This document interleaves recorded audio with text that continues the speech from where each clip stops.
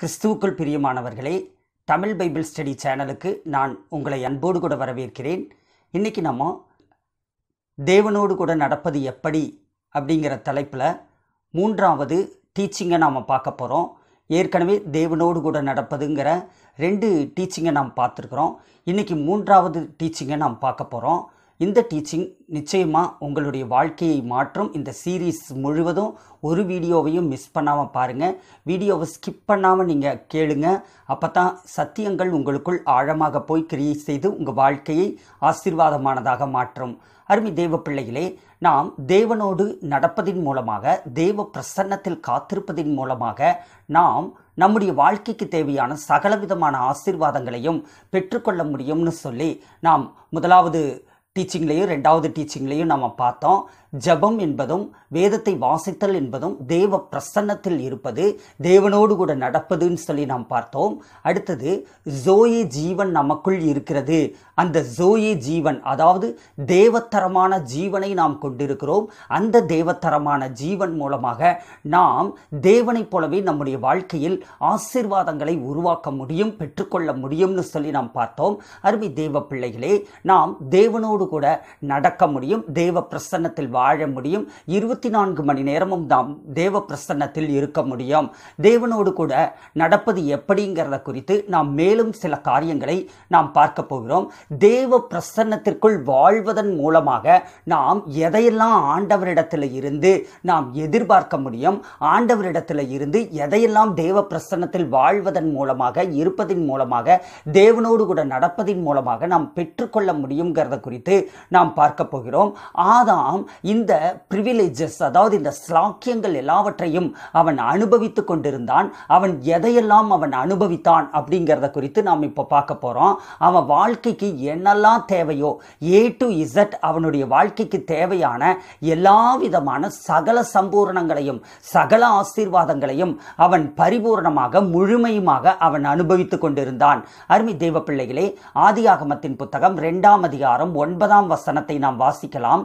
தேவனாகிய கர்த்தர் பார்வைக்கு அழகும் புசிப்புக்கு நலமுமான சகலவித விருட்சங்களையும் தோட்டத்தின் நடுவிலே ஜீவ விருட்சத்தையும் நன்மை தீமை அறியத்தக்க விருட்சத்தையும் பூமியிலிருந்து முளைக்க பண்ணினார். ஆம் தேவ பிள்ளைகளே இங்கே நம்ம பார்க்குறோம். ஆண்டவர் என்ன செய்தாராம்? பார்வைக்கு அழகும் புசிப்புக்கு நலமுமான சகலவிதமான விருட்சங்களையும் பூமியில் உண்டாக்கினார். முதல் மனிதன் உண்டாக்கப்பட்ட போது அவங்க சமைச்செல்லாம் சாப்பிடல. அவங்க க கனிகளை தான் சாப்பிட்டு வாழ்ந்தாங்க. அப்போ அவங்களுக்கு தேவையான உணவு. அந்த உணவு எல்லாவற்றையும் ஏராளமாக ஆண்டவர் கொடுத்தார். அவங்க சாப்பிட்றதுக்கு என்ன வேணுமோ அத்தனையும் ஆண்டவர் பரிபூரணமாக கொடுத்தார் ஏராளமாக கொடுத்தார். ஆண்டவர் ரெண்டு பேருக்கு தேவையானதை கொடுக்காம ஆண்டவர் ஒரு சந்ததிக்கே தேவையானதை அந்த தோட்டத்தில் வைத்திருந்தார். ஆம் தேவ பிள்ளைகளே ஆண்டவர் எப்படி கொடுப்பார் அப்படின்னு பார்த்தீங்கன்னா உங்கள் குடும்பத்தில் நீங்கள் ரெண்டு பேர் இருக்கிறீங்க நாலு பேர் இருக்கிறீங்க அப்படின்னா உங்களுக்கு தேவையானதை மட்டும் கொடுக்கிற தேவன் அல்ல. உங்கள் சந்ததிக்கே தேவையானதை கொடுக்கிற தேவன். அவன் ஏராளமான சம்பூர்ணமான உணவினால் அவன் ஆசீர்வதிக்கப்பட்டிருந்தான். அவனுக்கு தேவையான எல்லா உணவும் அவனுக்கு கிடைத்தது. அப்போ உங்களுடைய அடிப்படை தேவையான உணவுக்காக நீங்கள் ஆண்டவரிடத்தில் ஜெபிக்க வேண்டிய அவசியமில்லை. நீங்கள் விசுவாசிக்க வேண்டும். உங்களுடைய எல்லா விதமான சம்பூரணமும் அடிப்படை தேவையான உணவும் ஆண்டவரிடத்திலிருந்து நிச்சயமாக உங்களுக்கு கிடைக்கிறது. அடுத்ததாக ஆதியாகமத்தின் புத்தகம் இரண்டாம் அதிகாரம் பதினொன்றாம் வசனத்தில் நாம் இப்படி பார்க்கிறோம். முதலாம் ஆற்றுக்கு பைசோன் என்று பேர்.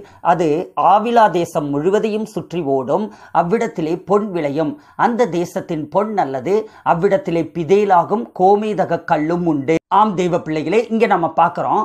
ஆண்டவர் அந்த ஏதேன் தோட்டத்தில் ஆண்டவர் அதை சுற்றிலும் ஓடும்படிக்கு ஆறுகளை உண்டாக்குகிறார். முதலாம் ஆற்றுக்கு பேர் பைசோன்னு பேர். அது ஆவிலா தேசம் முழுவதையும் சுற்றி ஓடக்கூடிய ஆறு. அந்த இடத்துல என்ன விளையும் அப்படின்னு பார்த்தீங்கன்னா பொன் விளையும். ஆண்டவர் பொன் விளையும் பூமியில் தான் ஆதாமை வைத்தார். அந்த தேசத்தின் பொன் நல்லது. அதாவது ஒரு சுத்த பொன்னை ஒரு நல்ல பொன்னை விளையத்தக்கதான ஒரு இடத்தில்தான் ஆதாமை ஆண்டவர் வைத்திருந்தார். அவ்விடத்தில் இன்னும் கோமேதக கல்லும் பிதேலாகும் அது உண்டாகிறது அப்படின்னு சொல்லி நாம் பார்க்கிறோம்.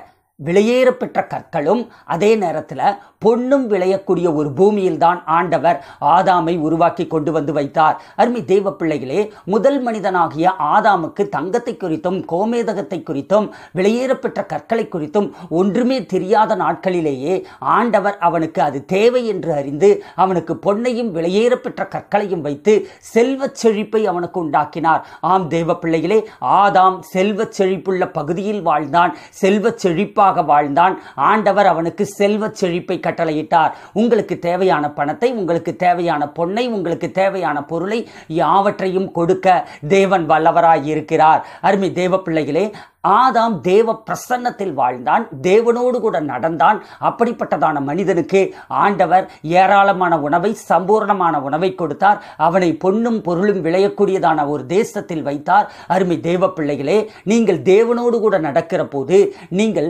தேவனோடு கூட தேவ பிரசன்னத்தில் இருக்கிற போது இருக்க பழகுகிற போது தேவனோடு கூட தேவ பிரசன்னத்தில் வாழ பழகுகிற போது அப்போ ஆட்டோமேட்டிக்காவே உங்க வாழ்க்கையில செல்வ செழிப்பு பெருக ஆரம்பிக்கும். உங்களுக்கு தேவையான ஆகாரங்களும் உங்களுக்கு உண்டாகும். அருமை தெய்வ பிள்ளைகளை பதினெட்டாம் வசனத்தில் இப்படி நாம் வாசிக்கிறோம். பின்பு தேவனாகிய கர்த்தர் மனுஷன் தனிமையாக இருப்பது நல்லதல்ல ஏற்ற துணையை அவனுக்கு உண்டாக்குவேன் என்றார். வசனத்துல நாம் பார்க்கிறோம் ஏற்ற துணையை அவனுக்கு உண்டாக்குவேன் அப்படின்னு சொல்லி ஆண்டவர் சொல்லுகிறார். ஆண்டவர் மனிதனுக்கு ஏற்ற ஒரு துணையை உண்டாக்கி அவனுக்கு கொடுக்கிறார். அப்படின்னா மனிதன் தனிமையாக இருப்பது நல்லதல்லன்னு சொல்லி அவனுக்கு துணையை உண்டாக்குகிற தேவன் நமக்கும். உங்களில் யாரெல்லாம் திருமணத்திற்காக காத்திருக்கிறீர்களோ உங்களுக்கு ஆண்டவர் ஏற்ற துணையை வைத்திருக்கிறார். ஈசாக்கு அவன் தியானித்து கொண்டிருந்தான் வசனத்தை தியானித்து கொண்டிருந்தான். தியானித்து கொண்டிருந்த நேரத்தில் ரெபேக்கால் அவனிடத்தில் கொண்டு வந்து விடப்பட்டாள்னு சொல்லி நாம் பார்க்கிறோம். அருமை தேவ பிள்ளைகளே ஈசாக்கு அவன் தியானித்துக் கொண்டிருந்தான். அப்பொழுது அவன் தேவ பிரசன்னத்திற்குள் இருந்தான். அவன் தேவனோடு கூட நடந்தான். அவன் தேவனோடு கூட நடக்கிற ஒரு பழக்கம் உள்ளவனாக தேவ பிரசன்னத்தில் வாழ்கிற ஒரு பழக்கம் உள்ளவனாக இருந்ததுனால அவனுக்கு தேவையான மணப்பெண் அவனிடத்தில் கொண்டு வந்து கொடுக்கப்பட்டாள். ஆதாம் தேவ பிரசன்னத்தில் இருக்கிறவனாக இருந்தான். அவனுக்கு ஆண்டவர் ஒரு நல்ல மணப்பெண்ணை அவன் ஒரு மனைவியை அவனுக்கு அவனுடைய விழாவிலிருந்தே எடுத்து அவனுக்கு ஏற்படுத்தி கொடுத்தார். அருமை தெய்வ பிள்ளைகளே திருமண வயதில் இருக்கக்கூடிய வாலிப பிள்ளைகள் வாலிப சகோதரனானாலும் சரி வாலிப சகோதரியானாலும் சரி கர்த்தர் உங்களுக்கு ஏற்ற துணை ஒன்றை வைத்திருக்கிறார். அந்த துணை நீங்கள் தேவ பிரசன்னத்தில் காத்திருக்கிற போது தேவனோடு கூட நடக்கிற பொழுது வசனத்தை தியானிக்கிற பொழுது உங்களுக்கு அந்த ஏற்ற துணை கொடுத்தருளப்படும். உங்களுக்கு அந்த துணை உண்டாகும். அருமை தேவ பிள்ளைகளே உங்கள் திருமண தடைகள் விலக வேண்டுமா? உங்களுக்கு ஏற்ற ஒரு நல்ல துணை உங்களுக்கு உண்டாக வேண்டுமா?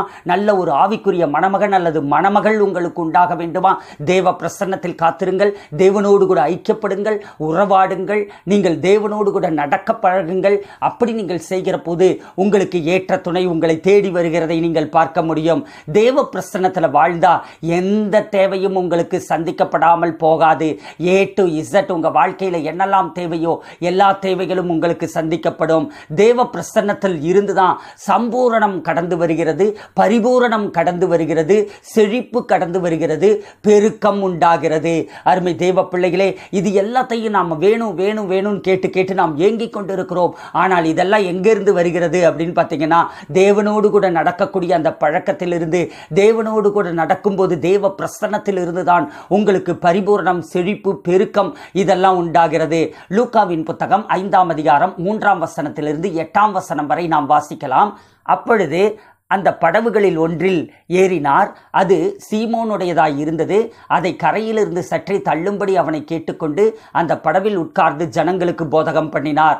அவர் போதகம் பண்ணி முடித்த பின்பு சீமோனை நோக்கி ஆழத்திலே தள்ளி கொண்டு போய் மீன் பிடிக்கும்படி உன் வலைகளை போடுங்கள் என்றார். அதற்கு சீமோன் ஐயரே ரா முழுவதும் நாங்கள் பிரயாசப்பட்டும் ஒன்றும் அகப்படவில்லை. ஆகிலும் உம்முடைய வார்த்தையின்படியே வலையை போடுகிறேன் என்றான். அந்தபடியே அவர்கள் செய்து தங்கள் வலை கிழி கிழிய கிழிந்து போகத்தக்கதாக மிகுதியான மீன்களை பிடித்தார்கள். அப்பொழுது மற்ற படவில் இருந்த கூட்டாளிகள் வந்து தங்களுக்கு உதவி செய்யும்படிக்கு சைகை காட்டினார்கள். அவர்கள் வந்து இரண்டு படவுகளும் அமிழத்தக்கதாக நிரப்பினார்கள். சீமோன் பேதுரு அதைக் கண்டு இயேசுவின் பாதத்தில் விழுந்து ஆண்டவரே நான் பாவியான மனுஷன் நீர் என்னை விட்டு போக வேண்டும் என்றான். ஆம் தேவ பிள்ளைகளே இந்த பகுதியில் நாம் பார்க்கிறோம் இயேசு கிறிஸ்து ஒரு படவில் ஏறி பிரசங்கம் பண்ண ஆரம்பிக்கிறார். அந்த படகு அது சீமோனுடையதாக அதாவது பேதுருவனுடைய படகாய் இருக்கிறது. அவர் பிரசங்கம் பண்ணி முடிக்கிறார். அவர் முடித்த போது சீமோனை நோக்கி அப்படின்னு பார்க்குறோம். அப்படின்னா அந்த சீமோனும் அந்த பிரசங்கத்தை கேட்டுக்கொண்டிருந்தான். அந்த பிரசன்னத்தில் இருந்தான். பிரசங்கம் என்பது நீங்கள் சபைக்கு போகிற போது அதை ஒரு கடமையாக நினச்சிக்கிட்டு நீங்கள் போகிறீங்க ஞாயிறு ஆராதனைக்கு நம்ம போகிறோம் அப்படின்னா அந்த பாடல் நேரத்தில் யாருமே போகிறது கிடையாது. அந்த வர்ஷிப் முடிஞ்சதுக்கப்புறம் அதுக்கப்புறம் தான் நீங்கள் அந்த தேவ செய்திக்கு தான் நீங்கள் கடந்து போகிறீங்க அப்படிப்பட்ட பழக்கம் உள்ளவர்கள் உங்கள் பழக்கத்தை மாற்றுங்கள். ஞாயிறு ஆராதனையின் ஆரம்ப ஜெபத்தில் துவங்கி முடிவு வரையிலும் தேவ பிரசன்னம் உங்களுக்கு தெரியுதோ தெரியலையோ நீங்க உணர்றீங்களோ உணரலையோ அங்க தேவ பிரசன்னம் அலையலையாக இறங்க ஆரம்பிக்கிறது. அது எந்த திருச்சபையாக இருந்தாலும் சரி என் நாமத்தினாலே எங்க ரெண்டு மூணு பேர் கூடுறீங்களோ அந்த இடத்துல நான் இருக்கிறேன்னு சொல்லுகிற தேவன் ஒரு சபை கூடுகிற இடத்தில் கண்டிப்பாக பரிசுத்த ஆவியானவர் அங்க ஆஜராயிடுறாரு ஆவியானவர் அங்க வந்துடுறதுனால ஆரம்ப ஜெபம் செய்யும் போதே நீங்கள் சபை சபைக்குள் இருக்க பழகுங்கள். அதே போல அந்த பாடல் ஆராதனை நேரத்தில் தேவ பிரசன்னம் அலை அலையாக அலை அலையாக இறங்கி வந்து உங்களை மூட ஆரம்பிக்கிறது. அதே மாதிரி தான் அவருடைய வார்த்தைகளை பிரசங்கிக்கிற போதும் தேவ பிரசன்னம் அலையலையாக மூட ஆரம்பிக்கிறது. அதை ஒருவேளை நீங்கள் உணர முடியாமல் இருக்கலாம் நீங்கள் பார்க்க முடியாமல் இருக்கலாம் நீங்கள் கேட்க முடியாமல் இருக்கலாம். ஆவிக்குரிய காரியங்கள்ங்கிறது அது உங்களுடைய உணர்வுகளுக்கு அப்பாற்பட்டது. அது உங்களுடைய ஐம்புலன்களுக்கு அப்பாற்பட்டது. நீங்கள் தேவ பிரசன்னத்தில் காத்திருக்கும் போது என்ன நடக்குது அப்படின்னு பார்த்தீங்கன்னா நீங்கள் அந்த பிரசங்கத்தில் அந்த ஆராதனையின் நேரத்தில் நீங்கள் காத்திருக்கிற போது தேவ பிரசன்னம் உங்களை மூடுகிறது. தேவ பிரசன்னத்திற்குள் நீங்கள் வாழ்கிறீர்கள். தேவனோடு கூட நடக்கிறீர்கள். அதனால தான் ஆராதனைக்கு கடந்து போகிற போது உங்கள் வாழ்க்கையில் மாற்றங்கள் வருகிறது கட்டுக்கள் உடைகிறது பலவிதமான அற்புத அடையாளங்களும் நடக்கிறது. அருமை தேவ பிள்ளைகளே இந்த பேதுரு என்ன செய்தான் அப்படின்னு பார்த்தீங்கன்னா அவன் பேதுருவை நோக்கி இயேசு இப்படி சொல்லுகிறார். அப்படின்னா என்ன அர்த்தம் அப்படின்னு பார்த்தீங்கன்னா பேதுருவும் பிரசங்கத்தை கேட்கும்படிக்கு அந்த படவி படவி இருந்த இடத்திலேயே தான் அவன் இருக்கிறான். அப்படி இருந்தப்போ இயேசு கிறிஸ்து பிரசங்கத்தை முடித்த பின்பு பேதுருவை பார்த்து ஆழத்தை நோக்கி உன் வலையை போடு அப்படின்னு சொல்லி ஆண்டவர் சொல்லுகிறார். அப்படி ஆண்டவர் சொல்லுகிற போது பேதுரு சொல்லுகிறான் பாருங்க ஆண்டவர் முன்கூட்டியே அறிந்து விட்டார். என்ன அவருக்கு தெரிஞ்சது? அப்படின்னு பார்த்தீங்கன்னா இவங்க ரா முழுவதும் வலை போட்டிருக்காங்க. வலை போட்டு அவங்களுக்கு ஒன்றுமே கிடைக்கலங்கிறது தெரிஞ்சதுனால நீ ஆழத்தை நோக்கி நீ வலையை போடு அப்படின்னு சொல்லி ஆண்டவர் சொல்கிறாரு சொன்னதுமே பேதுரு என்ன சொல்கிறான் நாங்கள் ட்ரெயின்டு ஃபிஷர்மேன் நாங்கள் எல்லாருமே வந்து நல்ல ட்ரைனிங் எடுத்த ஃபிஷர்மேன் நல்ல அனுபவம் உள்ள ஒரு மீனவர்களாக இருக்கிறோம். நாங்கள் ராத்திரி முழுவதும் எங்கே மீன் இருக்குங்கிறது எங்களுக்கு தெரியும். எந்த சீசனில் எந்த இடத்துல எவ்வளவு ஆழத்தில் மீன் கிடைக்குங்கிறதெல்லாம் எங்களுக்கு தெரியும். அப்படித்தான் போய் நாங்கள் மீன் பிடிக்கும்படிக்கு நாங்கள் வலைய போட்டோம். அப்படிப்பட்டாலும் ராத்திரி முழுவதும் நாங்கள் காத்திருந்தும் கூட எங்களுக்கு மீன் கிடைக்கல. அதனால் ஆனாலும் கூட உம்முடைய வார்த்தையின்படியே நாங்கள் இப்போ வலையை போடுகிறோம்னு சொல்லிட்டு அவன் போய் வலையை போடுகிறான். வலையை போடுகிற போது ரெண்டு படவுகள் அமிழத்தக்கதாக அவனுக்கு மீன்கள் கிடைக்கிறது. அருமை தேவ பிள்ளைகளே அவன் தேவ பிரசன்னத்தில் காத்திருந்தான். வெறுமையாக ஒரு ராம் முழுவதும் வெறுமையாக அவன் காத்திருந்து ஒரு மீனை கூட பிடிக்க முடியாதபடிக்கு காலி வலையோடு திரும்பினவன். இப்போ ரெண்டு படங்கு நிரம்பத்தக்க விதத்தில் மீன்கள் கிடைக்கத்தக்க விதத்தில் மீன்களோடு கூட கடந்து வருகிறான். ஓவர் நைட்டில் அவனுடைய சூழ்நிலைகள் மாறுகிறது.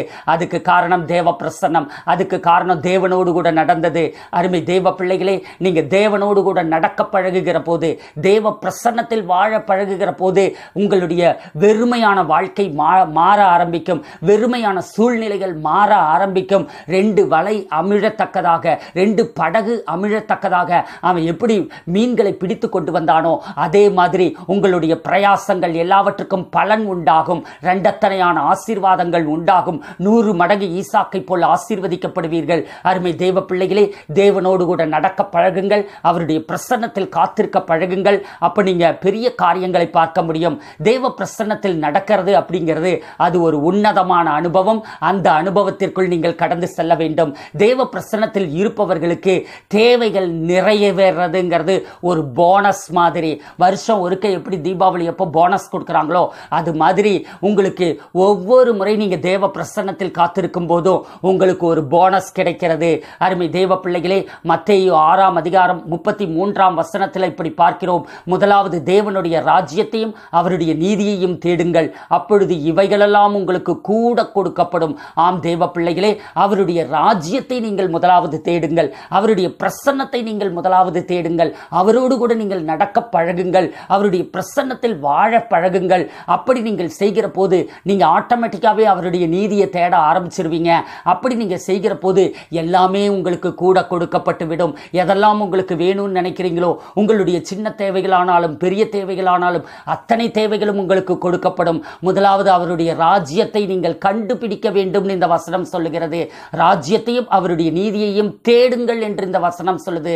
அப்படின்னா தேடுகிறவர்கள் கண்டடைகிறார்கள். அவருடைய ராஜ்யத்தை தேடுங்க. அவருடைய ராஜ்யத்தை எங்க தேட முடியும்? தேவ பிரசன்னத்தில் தான் தேட முடியும். ஆண்டவரோடு நடந்து தான் அவருடைய ராஜ்யத்தை நீங்க தேட முடியும். அப்போ அவருடைய ராஜ்யத்தை நீங்க தேடி கண்டுபிடிக்கும் போது தேவ பிரசன்னத்தை நீங்கள் கண்டுபிடிக்கிறீர்கள். தேவ பிரசன்னத்தை கண்டுபிடிக்கிற போது உங்கள் தேவைகள் யாவும் சம்பூர்ணமாக சந்திக்கப்படுகிறது. ஆம் தேவ பிள்ளைகளே கர்த்தர் தாமே உங்களை ஆசீர்வதிப்பாராக. ஆமீன். God bless you